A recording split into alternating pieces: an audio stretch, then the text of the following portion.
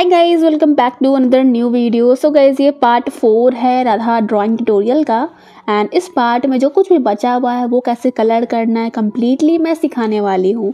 इससे पहले मैं part one two three already upload कर चुकी हूँ, जिसमें कि ये सब कवर ऑलरेडी हुआ है। Like outline face drawing jewellery drawing ये सब मैं कवर की थी। तो पार्ट वन टू थ्री का वीडियो का लिंक आपको इस वीडियो के डिस्क्रिप्शन एंड कॉमेंट में मिल जाएगा। चेकआउट कर लेना एंड देख कर बना लेना। बहुत ही मैं स्टेप बाय स्टेप बता रही हूँ तो अभी आते हैं इस वीडियो पे। तो यहाँ मैं स्टार्ट करने वाली हूँ पहले जो बैकग्राउंड है इससे। तो यहाँ मैं हल्का ब्लू सा सेड दिखाने वाली हूँ। लेयरिंग टेक्निक यूज़ कर रही हूँ। मतलब बिल्कुल लाइटली आपको काम करना है एंड प्रेशर यूज़ नहीं करना। जितना आप लाइटली कलर अप्लाई कर सकते हो, उतना करना है। पहले मैं स्काई कलर अप्लाई करी थी।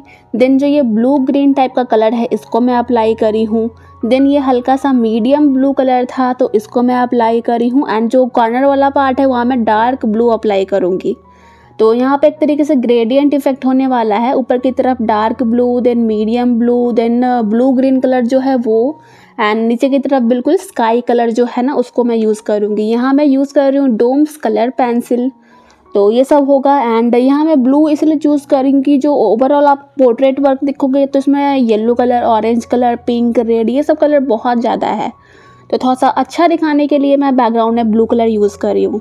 तो पहले मैं एक लेयर पे काम करी चार कलर अप्लाई कर रही हूँ। कौन कौन सा मैं ऑलरेडी बताई हूँ। अब सेम कलर को ही मैं फिर से लेयर बाय लेयर अप्लाई कर रही हूँ। ऐसे ही लेयर बाय लेयर काम करते करते ये अपने आप धीरे धीरे ब्लेंड होना स्टार्ट हो जाता है अराउंड फिफ्टी परसेंट देन बाकी स्मूथली ब्लेंड करने के लिए हम वाइट कलर पेंसिल यूज़ करेंगे। तो यहाँ मैं फिर से वही से, सेम चीज़ कर रही हूँ। ऊपर की तरफ़ डार्क ब्लू अप्लाई कर रही हूँ। एंड इस तरीके का ग्रेडियंट इफ़ेक्ट दिखना ज़रूरी है। ऊपर की तरफ़ डार्क और नीचे की तरफ़ लाइट ऐसा ही हमको चाहिए। और ऐसे हम लोग लेयर बाय लेयर काम करेंगे। जो फ़र्स्ट लेयर आप ऐड करोगे, वो बिल्कुल लाइटली होना चाहिए एंड जो चार कलर आप यूज़ कर रहे हो, वो एक दूसरे में मिक्स होना चाहिए अलग अलग नहीं दिखना चाहिए। तो सही से काम करना है। जब आप सेकेंड लेयर पे काम करोगे, आप हल्का सा प्रेशर यूज़ कर सकते हो, ताकि जो पिगमेंट है ना कलर का, वो भी आ सके।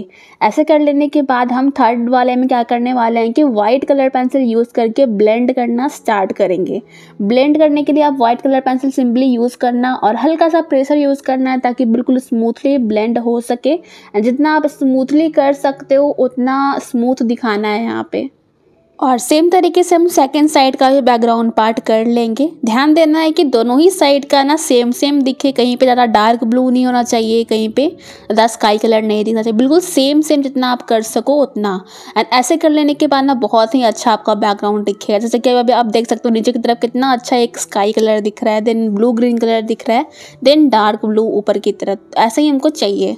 बैकग्राउंड हमारा हो गया। अभी मैं हेयर पार्ट आपको करना सिखाऊँगी। सो so, फर्स्टली हमें रेफरेंस को ऑब्ज़र्व करना है स्पेशली जो हेयर पार्ट है उसमें कौन कौन सा कलर यूज़ होगा? तो जैसे यहाँ मैं यूज़ करने वाली हूँ रेफरेंस के according light brown black grey and white colour Doms colour pencil बस यूज़ करूँगी। और यहाँ मैं पहले ब्लैक ली हूँ। ब्लैक कलर पेंसिल शार्प कर लेना है एंड इस यहाँ पे आप क्या कर सकते हो? पहले आपको आउटलाइन ड्राइंग तरीके से कर लेना है। जैसे यहाँ बाहर की साइड जो हेयर निकला हुआ था इसका मैं आउटलाइन ड्राइंग करी।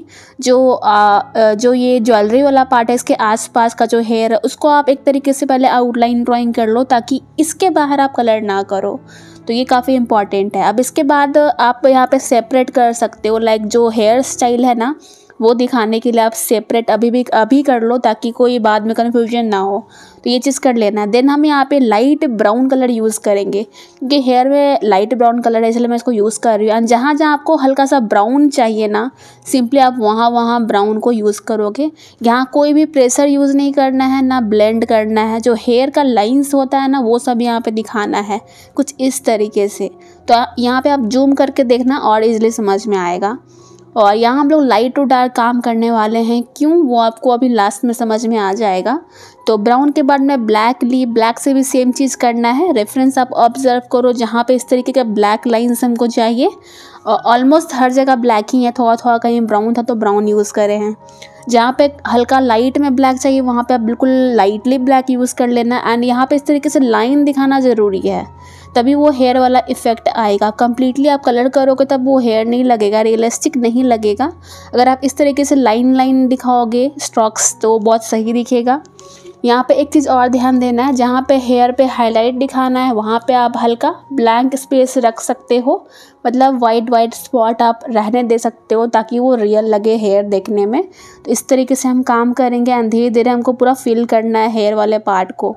तो पहले मैं डार्क वाला जो एरिया था ना, वो पहले मैं की नीचे की तरफ़। सेम तरीके से जहाँ जहाँ डार्क है, वहाँ पे आप करो एंड जहाँ जहाँ हाईलाइट है, वहाँ पे आप ब्लैंक भी रहने दो। एंड नेक्स्ट हमारा जो कलर होगा, वो होगा डार्क ब्राउन यहाँ पे आप लाइट ब्राउन भी यूज़ कर सकते हो। क्योंकि बहुत ज़्यादा ब्लैक दिख रहा था, मैं फिर से यहाँ पे क्या करें कि ब्राउन यूज़ कर ली। डार्क ब्राउन लाइट ब्राउन कोई भी आप यूज़ करो। हल्का सा एक कलर ऐड कर देना है ऊपर ऊपर। देन मैं फिर से ब्लैक यूज़ कर रही हूँ, जहाँ पे बिल्कुल ही डार्क और चाहिए। जैसे जैसे रेफरेंस के अकॉर्डिंग जहाँ जहाँ मुझे लगा कि और डार्क चाहिए, वहाँ मैं फिर से ब्लैक अप्लाई करी। इस बार मैं प्रेशर यूज़ कर रही हूँ ताकि बिल्कुल ही हमको डार्क मिल सके। तो ऐसे हम करेंगे यहाँ पे रेफरेंस ऑब्ज़र्व करना ज़रूरी है, तभी आप बिल्कुल सही से काम करोगे। देन हम वाइट कलर पेंसिल से ब्लेंड कर देंगे, जो भी लाइक स्पॉट बचा हुआ है वाइट वाइट स्पॉट जो हम लोग रखे थे ना, उसको सिंपली आप ब्लेंड कर लेना। देन आप ग्रे यूज़ कर सकते हो ग्रे पेंसिल ब्लैक वाले पार्ट को ब्लेंड करने के लिए। व्हाइट वाले एरिया को आप ब्लेंड करोगे व्हाइट कलर पेंसिल से और ब्लैक वाले एरिया को आप ब्लेंड करोगे ग्रे कलर पेंसिल से। इस तरीके से सारा कुछ ब्लेंड हो जाएगा। देन आप वाइट कलर पेंसिल यूज़ कर सकते हो और जो हाईलाइटेड पार्ट आप रखे थे ना हेयर के ऊपर, वहाँ पे आप हाईलाइट उससे और ऐड कर सकते हो। अभी मैं ये थर्माकोल कटर यूज़ कर रही हूँ एंड इससे जब आप स्क्रैच करोगे ना तो बहुत ही अच्छा हाईलाइट बन जाता है। ऐसा ये तभी होगा जब आप लाइट टू डार्क काम करोगे। जैसे कि मैं स्टार्टिंग में ब्राउन यूज़ करी, फिर ब्लैक यूज़ करी तो ये लाइट टू डार्क वाला काम हुआ। लाइट टू डार्क का आप काम करोगे तो आपका हाईलाइट बहुत ईजिली क्रिएट हो जाएगा थर्माकोल कटर से। फाइनली फाइनल टचेस वगैरह करने के बाद मैं फिर से ब्लैक अप्लाई करी। एंड लास्ट में हम लोग ये वाइट जेल पेन आता है, उसको भी यूज़ करके एक्स्ट्रा हाईलाइट दिखा सकते हैं। जो फॉरहेड वाला पार्ट है ना, वहाँ आप देखो बिल्कुल ही इस तरीके से स्किन पार्ट है, फिर हेयर पार्ट ऐसा दिख रहा है। तो यहाँ पे क्या करना है कि आप हल्का सा जो हेयर का स्ट्रॉक्स है ना, वो यहाँ पे आप दिखा सकते हो, ताकि और भी ज़्यादा रियलिस्टिक लगे। कम्प्लीटली फेस से हेयर पार्ट ना दिखे, बीच में थोड़ा सा ब्लेंड भी दिखे तो ऐसे कर लेना है। यहाँ मैं ये ब्रूस्ट्रो का वाइट कलर पेंसिल यूज़ कर रही हूँ एंड इससे काफ़ी अच्छा हाईलाइट क्रिएट हो जाता है। तो इससे मैं हाईलाइट ऐड कर दूँगी, जहाँ जहाँ मुझे हेयर के ऊपर चमक दिखाना है साइन दिखाना है हाईलाइट दिखाना है। तो ये चीज़ कर लेंगे। तो ऐसे कर लेने के बाद हमारा यहाँ पे हेयर पार्ट कंप्लीट है, जो कि बहुत ज़्यादा रियलिस्टिक लग रहा है। अब सेम तरीके से जो ये नीचे का पार्ट है, जो लटका हुआ हेयर है, वो सब हम कर लेंगे एंड सेम तरीके से सेकंड पार्ट जो हेयर का है, वो भी हम कर लेंगे। तो अभी आप वीडियो देखो ऑब्ज़र्व करो कैसा हो रहा है एंड ट्राई करो अभी बनाने का।